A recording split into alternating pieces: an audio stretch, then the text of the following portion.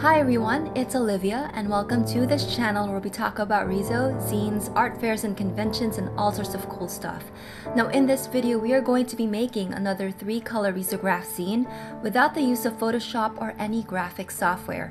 So this video is actually a continuation of the one sheet risograph zine video with a spring theme where we used watercolor Conte pencil and a typewriter. So in this video we are actually going to be working with photography, in particular Instax photos. And we're also going to be drawing using some fine liners as well as using other cool materials to create this photography collage zine. So I went to the thrift store the other week and I found this really cute mini inkjet photo printer that prints 4x6 photos and the box actually came with a whole pack of glossy photo paper. So we're actually going to be using this for our little photography collage zine. So if you'd like to find out how, please keep watching. All right, so let's get started. So this summer zine is about a day I spent with my boyfriend at the annual Canadian National Exhibition, or CNE for short. He's lived in Toronto for most of his life, but he's never been, and I've never been either. So this zine just documents that day. So I'm just using a blue pencil to make a grid so that I can place the photos on the paper correctly. I'm using tracing paper and fun fact, I am in Canada but my tracing paper is actually from National Bookstore in the Philippines, not sponsored. The tracing paper will allow me to overlay drawings over the photographs and separate out my ink colors. Okay, so this zine is going to be the same dimensions as the spring zine, which is quite small. It is 2.75 by 4.25 inches. So it's the dimensions you get when you divide a letter size sheet of paper into 8. And if you'd like more information, please watch my No Photoshop Risograph zine video where I take you through the process of making the spring zine. The first thing I'm doing is laying down the blue photos for the blue layer. So all of these photos will be printed in medium blue ink. I'm using double-sided tape to stick the photos to the tracing paper. The double-sided tape is actually quite forgiving on the photos.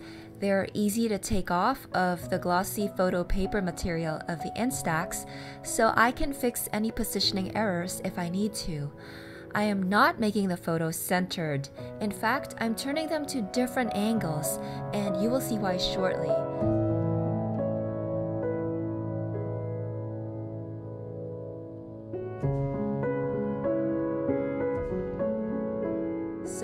I do the same for the orange layer, except for I put the photos in the other boxes that are not taken up by the blue layer photos. The tracing paper I'm using is actually letter sized or 8.5 by 11, so I actually have to tape them together to make an 11 by 17 inch spread. Once I'm done positioning the photos, I put the two layers, blue and orange, on top of each other. And again, I lay another sheet of tracing paper on top of both for the red ink layer.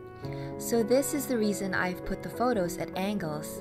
I actually want to make it look like they're hanging on a string, like how Instax photos can be hung up using cute little clothespin clips. But instead of clips, I'm using washi tape to position the string on the page. I'm using a darker colored string and washi tape so that they will show up clearly when they are scanned. Okay, next I wanted to make alternating color outlines and drop shadows. Because my Instax film is white, if I didn't draw the outlines and the drop shadows, the edges of the photos won't show up. So I just wanted to define the edges a little bit more. Then I get working on the orange layer. So on the orange layer tracing paper that is over the blue layer, I use gray markers to color in some areas that I thought might be interesting to print on the blue, such as some clouds or little areas of focal points. I try not to use too dark of a gray because I don't want to overwhelm the blue. I want the orange to be a bit more subtle and to blend nicely with the blue, especially in the sky areas where the blue is going to be quite light.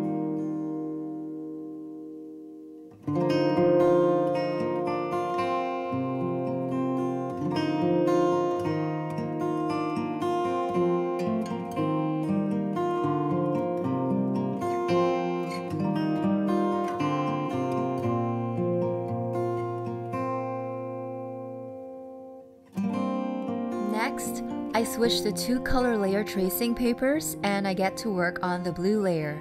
Because medium blue has quite a darker tone than melon orange, it's better for line work. So I do more drawing type line work and some lettering on this layer. Something I do for the drawings is add more of an illustrative twist to the photos. So I'm actually drawing over and past the photo area and adding my own embellishments to some of them. One thing I'd like to note is that the Instax is really hard to control and it's really hard to predict how the photos are going to come out. So these are not National Geographic level photos, and I'm not myself a trained photographer, and most of us aren't. So for these photos, we're just going to try our best to work with what we have. I actually messed up a bit on that dragon's claws because I made it too big, but not to worry, it's easy to fix by just putting another sheet of paper over it and trying again.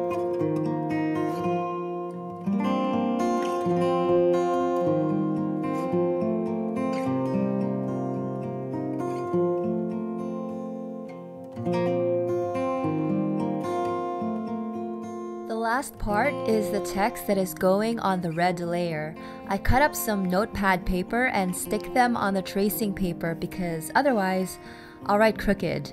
And also it's really easy to replace the paper if I mess up. The light blue lines on the notebook paper do not actually show up when photocopied, so they become invisible. So it's still going to look like I write pretty straight. Yep, it is all a lie.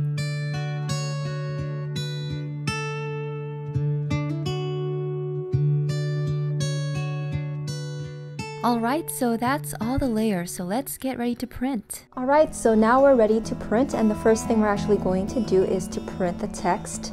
And this is actually going to go on a different sheet of paper than the zine itself.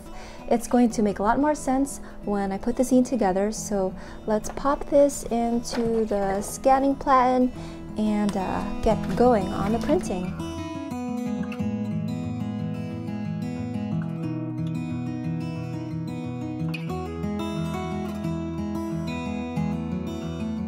Alright, so let's take a look. Oh my gosh, it looks amazing. I really love the red on the orange and I don't know if it shows very well on the camera, but this is actually quite a fluorescent orange. So if you look at the paper, that's just white with the red versus the bright orange with the red, it really makes a difference and I really love it and I'm so excited. So let's take a look at the original in there and compare that to these two. All right, so there's the original. So let me just turn this over and let me just put this on here so that we can see it clear. So that's what that looks like. So it's going to translate the grayscale values of this onto the red ink.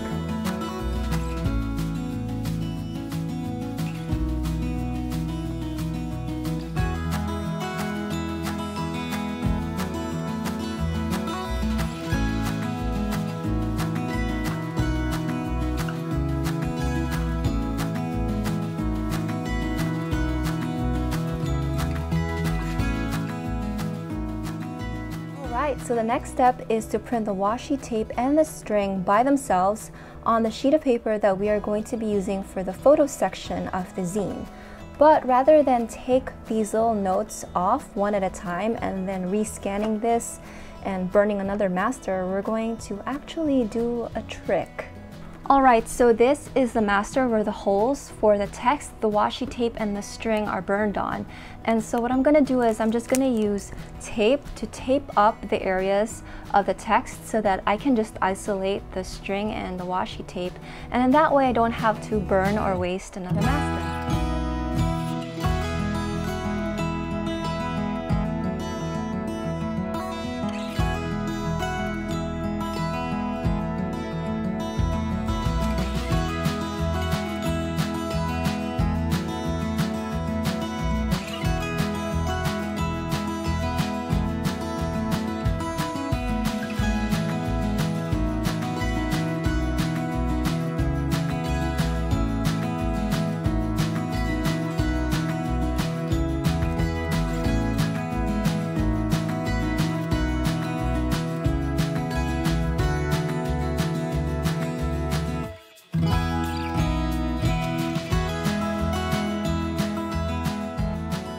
Alright, so now let's work on the blue layer. So I've put in the blue ink cylinder into the Riso. And so now I'm to put this on the scanning platen and scan it.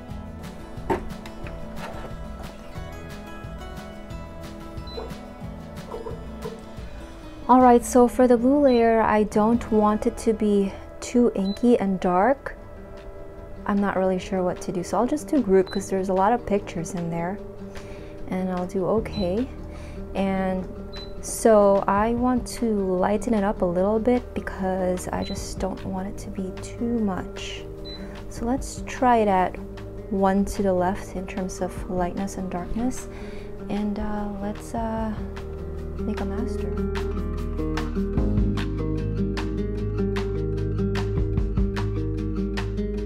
So let's take a look at how the blue did. The blue I think actually did pretty well. This is a medium blue and not the Riso blue. And I like that it's kind of like a ballpoint pen type of blue. And I like the contrast of it and I think the details are also pretty good. One thing I noticed is that there is a bit of smudging on here which is not very very evident on here but for some reason the Riso is picking up smudging right there. It doesn't really bother me because there's going to be an orange layer under it anyway and so I think that's going to look pretty interesting with the orange under it. I also like that it picked up the drop shadows pretty well so I think that the drop shadows showed up pretty clearly on the blue in the photo group mode so yeah, I'm gonna keep this and now we'll do the orange layer.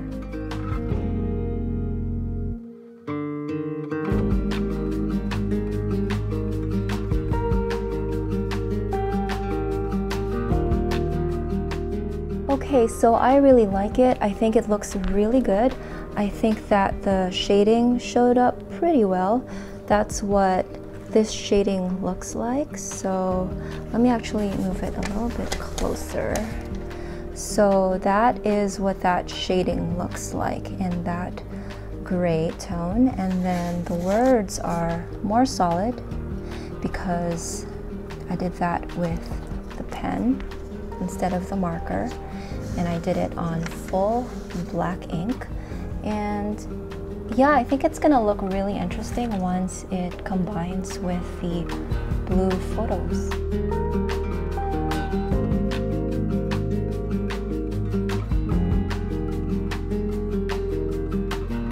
Alright, so this is what it looks like in the end. I really like it so much. It has this collaged effect and I think that the combination of the colors along with the paper is pretty cool. The only thing is that this part is really, really off and that is a lesson learned. Try not to make things that need to be too registered when you are doing everything manually. But other than that, I think that this is pretty decent looking and I'm so excited to put it together.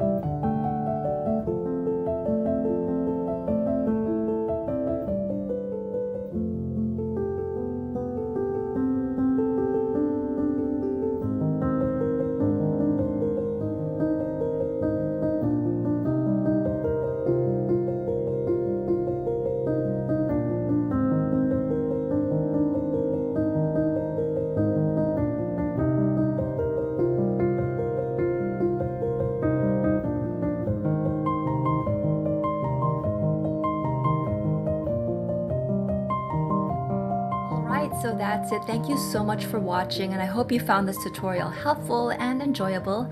And if you did, please give this video a like, subscribe, and leave a comment in the comment section below. And also, if you'd like to support this channel and purchase a uh, summer zine or a spring zine, I will leave a link in the description below as to where you can do that. Just a note, I do do a very limited run for my tutorial videos. I put everything together myself, so the quantities are quite limited and so if you see a zine, it's better to snag it sooner rather than later because when it does sell out, I will most likely not be reprinting the zine because I do want to move on to creating other zines as well. So yeah, thank you so much for your support. I really appreciate it and I'll see you in the next video.